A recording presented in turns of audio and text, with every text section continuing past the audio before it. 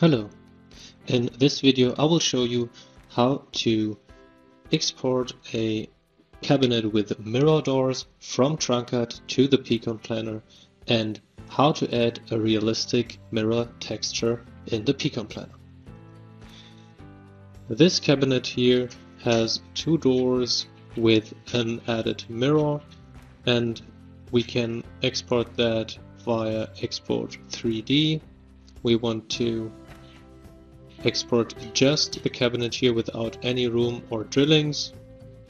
We use the pCon Planner button here, save the cabinet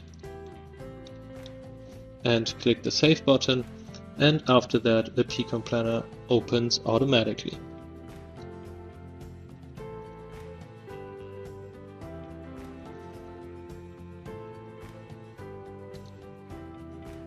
Here in the 3D perspective, you can see the mirror as well as in a top view, front view and from the right. We go to the material editor. If this is not open automatically, you find it in the edit tab and here via the material editor button.